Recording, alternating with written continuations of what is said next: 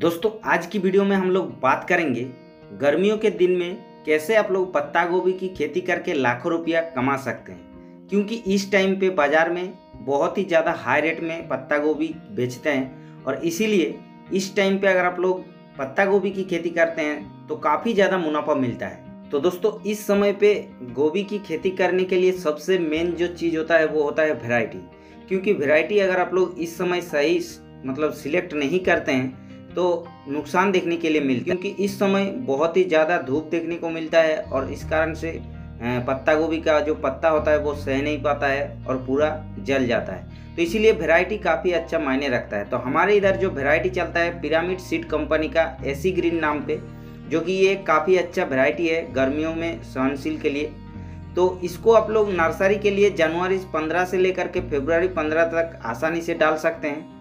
और इसका ट्रांसप्लांटिंग आप लोग मार्च महीने में कर देना चाहिए। मतलब जैसे नर्सरी तैयार कर रहे हैं तो 25 दिन में तो ट्रांसप्लांट करने के लिए तैयार हो जाता है। तो मार्च में आप लोग आसानी से इसको ट्रांसप्लांट कर सकते हैं। और गर्मियों में सोयल यानी मिट्टी की अगर बात की जाए तो इस गोभी का खेती करने के लिए अच्छी जल निकास वाली कालो दोमट मिट्टी या फिर जलोड़ मिट्टी सबसे बेस्ट माना जाता है। इससे आप लोगों का गोभी का जो साइज़ होता है, वो बहुत ही ज़्यादा मिलता है। और मिट्टी का पीएच की अगर बात किया जाए तो साढ़े पाँच से साढ़े छः सबसे बेस्ट माना जाता है। और ये जो पिरामिड सीड का एसी ग्रीन गोभी है, जैसे कि यहाँ पर आप लोग देख सकते हैं, ये है पिरामिड सीड का एसी ग्रीन पत्ता गोभी। और इसका साइज़ लगभग एक के से लेकर के डेढ़ के तक आसानी से हो जाएगा। और इसका हार्वेस्टिंग जैसे आप लोग ट्रांसप्लांट करने के 80 से 90 दिन के बाद आसानी से कर सकते हैं। बाज़ार में इसका 10 ग्राम का पैकेज मिल जाता है, जिसका कीमत लगभग 180 से 200 रुपए के आसपास हो जाता है। रेट के ऊपर ज़्यादा ना ध्यान दें, क्योंकि रेट मार्केट के हिसाब से अलग अलग हो सकता है। और गर्मियों के दिन में और एक चीज़ सबसे बड़ी जो समस्या आता है, वो होता है इल्लियों का प्रकोप इल्लियों का कंट्रोल अगर नहीं करते हैं तो काफ़ी ज़्यादा नुकसान देखने के लिए मिलता है।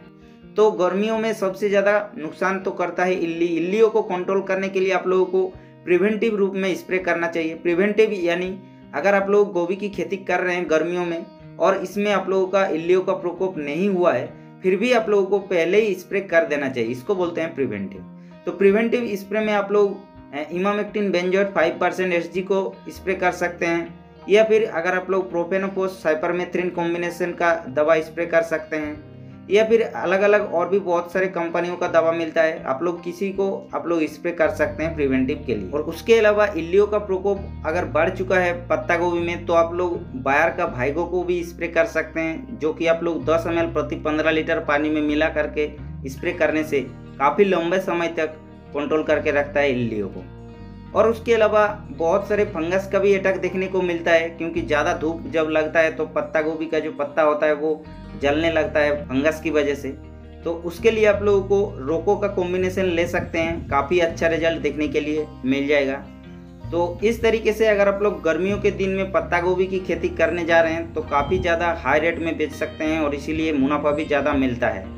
तो दोस्तों, इस पॉइंट को अगर आप लोग फॉलो करके गर्मियों के दिन में पत्ता गोभी की खेती कर रहे हैं तो बहुत ही अच्छा खासा रिज़ल्ट देखने के लिए मिल जाएगा। तो वीडियो अगर पसंद आए तो वीडियो को एक लाइक कीजिएगा और हमारे इस चैनल पर नए आए तो चैनल को सब्सक्राइब करके बेल आइकन को ज़रूर प्रेस कर लीजिएगा, क्योंकि हम इस चैनल पर ऐसे वीडियो डालते रहते हैं।